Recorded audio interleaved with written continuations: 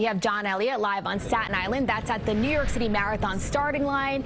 And he has been talking to really fascinating and inspiring runners and participants all morning. I see you have two more beside you, John. I got to tell you, Jenna, you're right.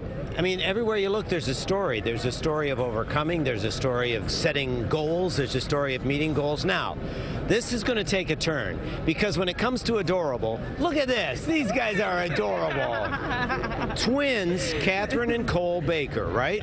Yes. How old are you guys? We are 25. And you were like born like you're you're you're twins. Minute apart. Yep. so again, adorable, but now it goes from adorable to profound because you're running for Fred's team, but who are you really running for today? We are running for our mom who has stage four ovarian cancer um, and who is actually here to watch the marathon, which is awesome. She's watching right now. Yes, hopefully. She's watching right now. so how's your mom doing? She's doing really well. She still um, has weekly chemo, so still is battling, but doing really well for her uh, diagnosis. How does Fred's team work? Because it's for Memorial Sloan Kettering, but then you select the the ultimate recipient, right? That's right. So each runner or team of runners will raise money themselves and then select which area of research they want it to go into. So we selected ovarian cancer. Are you guys ready for this? Have you ever done a marathon before? We've done one. Um, we did one in Austin, and I think we're ready.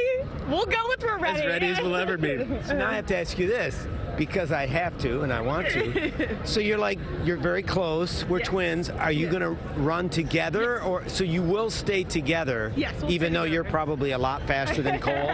she likes we to separate at the very end. oh, so at the very end, 26.1 miles you'll go. I mean, obviously it's. I mean, this is great, smiles and laughter, but you're thinking about mom really every mile, right?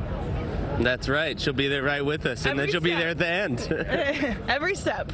I love this. I mean, yeah. I, you know, never met him, and I just God bless. Thank you so much. And what you're gonna? It, it's gonna take about four hours, right?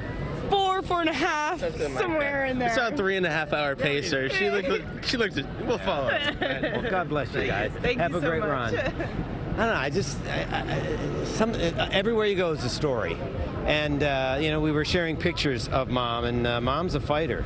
So, uh, mom, uh, thanks. Thanks for sharing your beautiful twins with us.